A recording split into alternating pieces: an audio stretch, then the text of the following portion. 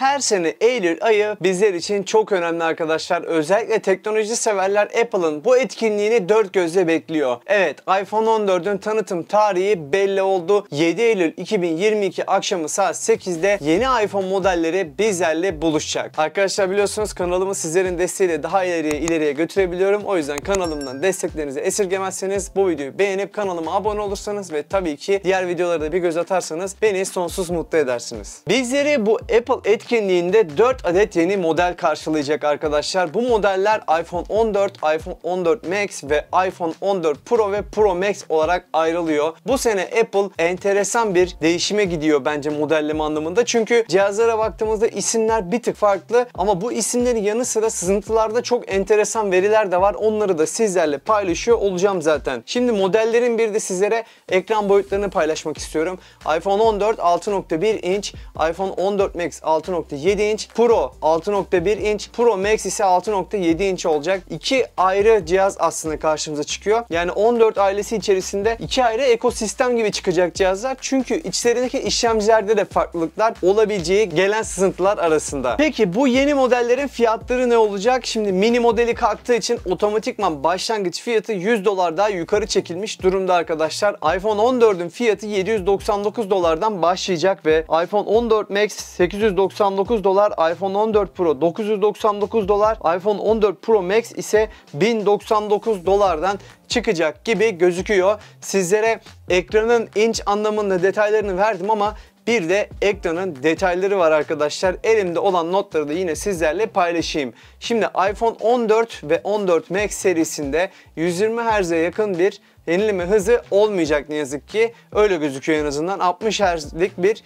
yenileme hızı olacak ve aynı zamanda şu anda iPhone 13'lerde gördüğümüz o çentik boyutu iPhone 14 ve 14 Max'te devam ederken iPhone 14 Pro ve Pro Max modelinde arkadaşlar bizleri artık ekrana gömülü işte yıllardır Samsung'un amiral gemisi cihazlarında gördüğümüz bizlerin de bildiği tanıdık bir tasarım olan iki adet noktalı bir ekran tasarımı bizleri karşılıyor olacak. Bunlar tabii ki şu anda böyle görsel üzerinde çok şık gözüküyor. Günlük hayatta nasıl olur, nasıl bir deneyim sunar bunların da detaylarını zaten lansman günü görüyor olacağız. Beni biraz heyecanlandırdı bu. Bundan bir sonraki adımda ekrana tamamen gömülü yani düz bir ekran altında bizi karşılayan kamera ve Face ID ile görüyor olabiliriz 2024 ya da 2025 yıllarında. Ve tabi ekranlarla alakalı şunu da söylemek lazım. iOS 16 ile birlikte bence zaten birazcık sinyallerini verdi Apple ama iPhone 14 ailesini artık bu Always On Display'de görüyor olacağız. Çünkü o araç takımları falan aşağıda gözüken ufak çıkıntılar vesaire bunlar biraz daha always on display'e yönelik hareketler gibime geliyor ve devam edelim işlemci tarafıyla.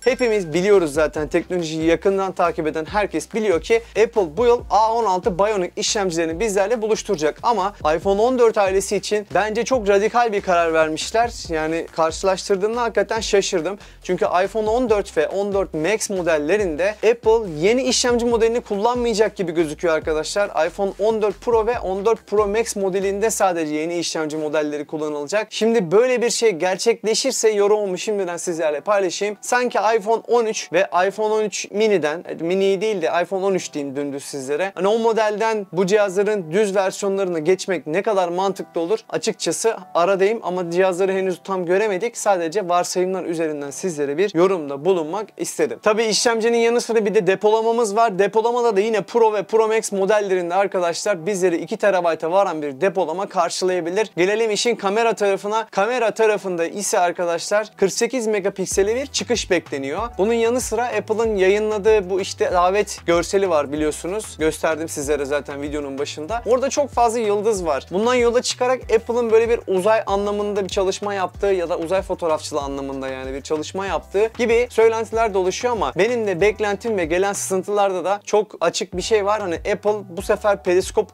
kameraya bir giriş yapabilir ama benim nacizane fikrimde bu periskop kameranın sadece Pro modellerinde olacağı yönünde. Yani bazı versiyonlarında muhtemelen bir megapiksel yükselişi yaşarız ama o periskop kamerayı sanki düz modellere yani 14 ve 14 Max modellerinde göremeyiz gibime geliyor benim. Sizler ne düşünüyorsunuz tabii bu konuda onları da yorumlara yazıyor olursunuz. Ve geçen sene çok beklediğim bir şeydi. Ekrandan parmak izi okuyucu gelir mi diye. Bu sene de gelmeyecek gibi gözüküyor ama önümüzdeki sene ekrandan parmak izi okuyucunun bizlerle buluşması mümkün. Hemen pil kapasitelerini de sizlere özetleyeyim. Gelen tüm sızıntıları kontrol ettim arkadaşlar. Raporların çoğunda iPhone 13 ailesiyle benzer bir pil kapasitesine sahip olacağı gözüküyor cihazların. Yani burada aslında yeni işlemciye sahip olacak iPhone 14 modellerinin bir tık daha verimliliği arttıracağını göz önüne alırsak pil ömrünün bir tık daha iyiye gidebileceğini ama çok böyle ultra bir yenilik beklenmediğini de sizlere söyleyeyim. Type-C tarafı hala muamma yani Lightning'den vazgeçer mi Apple vazgeçmez mi açıkçası net bir bilgi yok henüz ama beklenti Type-C ile gelmesi yönünde en azından Pro modellerinde böyle bir değişime gidip de bir deneme yapması da yine Apple'dan beklenen detaylardan bir tanesi olarak gözüküyor arkadaşlar. İnternetteki raporlar ve yorumların çoğunda ki benim de en azından beklentim bu yönde artık Type-C'ye geçseler hani bu uyumluluk anlamında çok daha iyi olur diye düşünüyorum ve tabii ki merakta ediyorum. 7 Eylül'de yapılacak lansmanı bakalım bizlerle iPhone dışında buluşacak diğer ürünlerde Apple Watch'ta ve açıkçası AirPods'ta bizleri neler bekliyor? Ben de heyecanla bekliyor olacağım. Sizler ne düşünüyorsunuz iPhone 14 ailesi hakkında? Yorumlara yazmayı ve tabii ki bu videoyu beğenip kanalımı desteklemeyi ihmal etmeyin arkadaşlar. Bir sonraki videoda görüşene kadar kendinize çok iyi bakın efendim. Hoşçakalın. Bay bay.